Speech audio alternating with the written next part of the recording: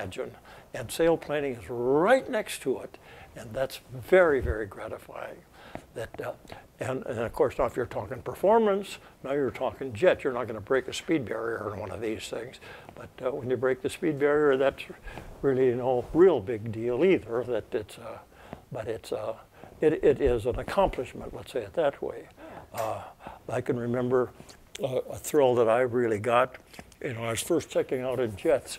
I was making a what they call a round robin, just flying around for get some practice. And uh, I remember I was at 40,000 feet coming from Phoenix, and I was going up to Los Angeles and back down to San Diego. And I got up to the Los Angeles area, and I'd never been up this high before that I know of.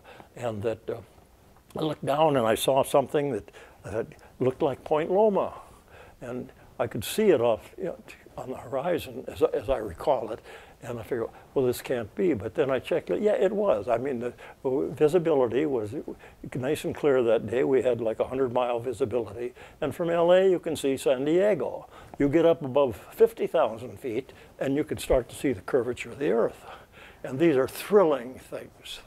Uh, up in, flying out of Newfoundland, and I can remember being up above the heavy fog layers, now cloud layers. And when you're up, and if you go down right to the tippy top of the layer and fly the jets, the uh, prop wash from the plane, that it, it makes the, the cloud swirl behind you. And it looks, you look to the back, and it's a, a dip, a, like a little ditch that you went through. That all you do is blue the clouds.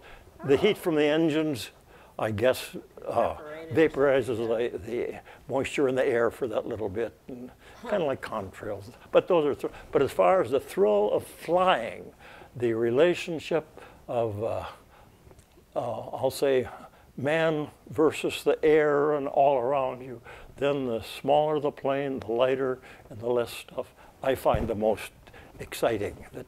That, that, you read these books about pilots with nearness to God and nearness to nature. Yeah. Those, those are the times that it comes, not when you're strapped into all this electronic stuff. Right. And, metal around you. Yeah, so many of the planes now, the pilot isn't even really flying the plane. He is controlling the electronics that fly the plane because the reactions needed to fly that plane are so demanding and have to be executed so rapidly that the human can't respond to it. So he is yeah. respond. The human is controlling a quote computer that is controlling that that airplane. Right. Now that, that's not all of them, but there are some of the fancy ones that are the more tricked out. Yeah. yeah, that are. That's what I understand. I haven't flown those planes. Okay, where are we at here? Now we're at uh, we're oh we're finishing up flying these ferry squadron things. You, you want this to go on yet? Yeah, yeah. Okay, all right. We're uh, so we the, the ferry squadron deal that. Uh, then I was, uh, at, after that, uh, now again, see we're getting into uh, more use of radar and things in the Navy, and CIC, Combat Information uh, Center, the CIC, on, uh, and they're starting to appoint officers to do this job on, on ships and things like that. So uh, I was assigned to CIC school back in Chicago, in, uh, at Great Lakes, as I recall it. I think he's, well, that, uh, and uh, I, went, I went to CIC school back there for I forget how long. And I personally, this uh, personal note here, but in my lifetime, I know I haven't smoked a carton of cigarettes. I doubt that I have smoked one pack of cigarettes in my lifetime.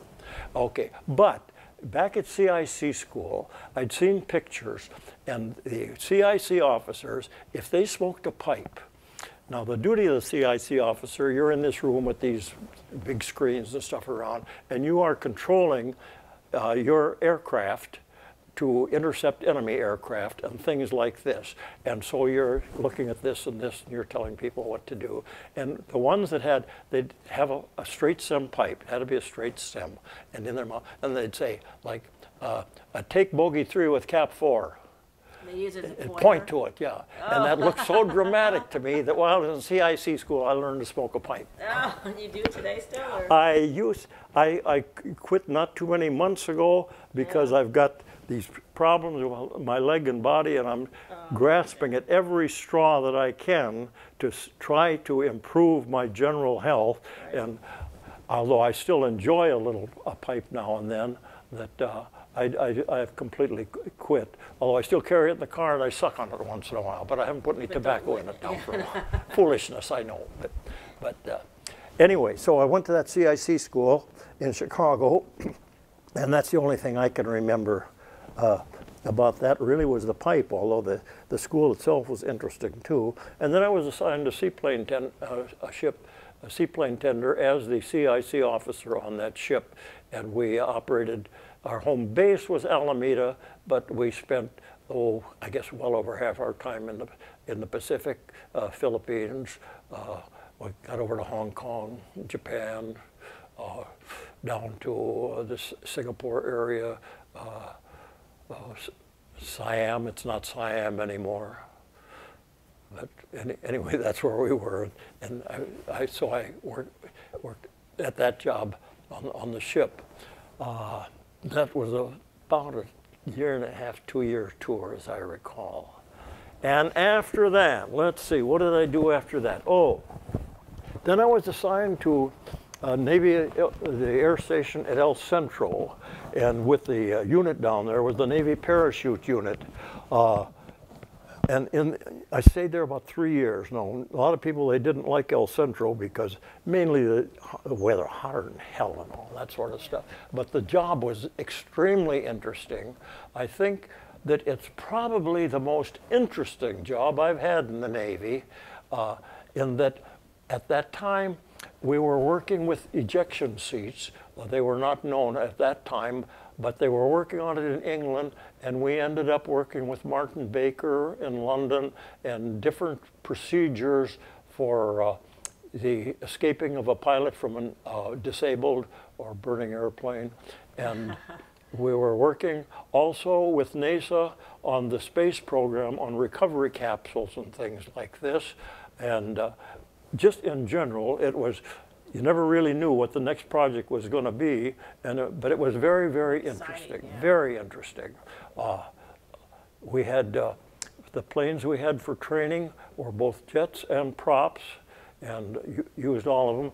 Uh, what we would, one of the things that we would do is uh, I, I take a uh, an airplane, and this the one that I remember specifically was a T-33, a, a jet, single-engine jet with two places, and you'd have a, a the live pilot in the front, and then in the back seat you'd put a dummy and uh, uh, a uh, some kind of a parachute escape system, and we're talking now ejection seats where that you'd go along and uh, and, and fire this seat out, and so to, to, if the pilot would have to get out of a burning plane or something like that, Really fast, and yeah. and uh, and it was part of the experimental program. And in fact, the guy, no, not that I relieved, but he was in the squadron right before I got there. That uh, he was flying this plane. It, it, one of the T-33s down there, just a couple weeks before I got there, and uh, fire, fired the ejection seat, and there was a malfunction, and the uh, seat did not come out as fast and clear as well as it should, and it tipped over and knocked the tail off his plane. He's only about a thousand feet off the ground, and he couldn't recover. He was killed, and. Uh, that's the kind of thing we were doing. We lost only one other parachute guy while I was down there, but it was on. Uh, we had uh, jumpers in the squadron where that it actually tested the parachutes and stuff, the different types. Uh, a military parachute and a skydiving parachute are, in a sense, uh, kind of different things. The skydiving parachute is a relatively comfortable device to use in that when it opens, it uh, opens slowly because you're not going to jump deliberately at any low altitude. But military parachutes are, de- are designed for rapid opening, and when they open, they, they go crack and uh, I, I saw stars on several occasions when I jumped, and because the shock is, is very great when, when that thing hits. But the, there's, there's a logic behind it. That, uh, so, but that's what we were doing. And very, like I say, very, very interesting work. One of the episodes that I recall, we were working with a company out of Minneapolis, Winzen Company, as I think the name was. And what they, their assignment in the project was to provide a balloon to take a dummy, an anthropomorphic dummy, one that's size, shape, weight of a human, send it up to 70,000 feet, and then have this quote dummy escape from the balloon, parachute down to Earth. The preface for space, returning from space, that they, if the guys have to get out of the capsule for some dumb reason as they're descending, that uh, you have to have things for this. It's possible that the pilot would be unconscious, so you have to have things automatic. And this is the kind of things we're doing. Well, anyway, on this one occasion, we went up to uh, Palm Springs area. Uh, wasn't Palm Springs, but Palm Desert, little, little town up there. And we launched this balloon that uh, was a helium balloon, as I recall, up to, up to 70,000 feet, and had this capsule parachute mechanism in it, and we released it over the area down there, the mountains, Southern California, Arizona area, and had filmed uh, cameras tracking it, all, all this stuff coming down. Well, then theoretically, you go and you pick this dummy up and examine it for blah, blah, blah. And we got, we never found that dummy. It, it landed someplace near the Chocolate Mountains, uh, east of El Centro. Uh, we spent about two or three days looking out there for, the, for that dummy and never found it. Now, my theory of what happened to it is that the dummy came down in the mountains. Uh, there, uh, little east of El Centro, Glamis area, the dunes, and there's mountains there. And there was a lot of mining and stuff in this area too. In, in past years, there was mining. So my theory is that this dummy came down and went through a, a crevice between two steep hills and got down into where some rocks are and things like that. And we, we could never find it. And so I'm, what I'm thinking is that someday, if it hasn't already happened, and I don't think so, is that some, some prospective miner is going to be up there looking for whatever he's looking for, mine, and he's going to come across this thing. Now, it's, it, what it would be is, to all intents and purposes, it would look like a human being in this flight suit and stuff. And this was for coming back from space. So what I think that if the guy was not of a very clear thinking, in a clear thinking mode, he would think it was somebody from outer space. And this was the period when we had all this aliens coming and landings and things. So everybody was alien happy. And that's what I could figure somebody, and of course I embellish it a bit. I figure if this guy had been drinking the night before and he would come into this and here this thing would be stuck here, he would be sure that had to be somebody from outer space. Wow. But I don't know, we never, to my knowledge, we- the never been dummy's never been found. You sure someone didn't But- steal it? Uh, That, You sure someone didn't steal it? Well, uh, I suppose it's possible that they would have, but I know we had, we had uh, tags on it and stuff that, you know, if located, I don't remember if there was a reward involved, but I mean, this was a, well, I don't know how many dollars that whole little episode cost, but I mean, it was one of these expensive research programs. Yeah, never found the dummy. And I don't know what anybody would really want with heavy thing. I don't, I don't, I just don't know. That's one to speculate on. But that was an interesting tour there in Key West. Very, very interesting. Okay, after that, El let's see. Centro? You mean Let's El, El Centro? I'm in El Centro. Yeah, you said Key West. I'm sorry? You said Key West. Okay, I, Okay. thank, thank you, thank you, thank you.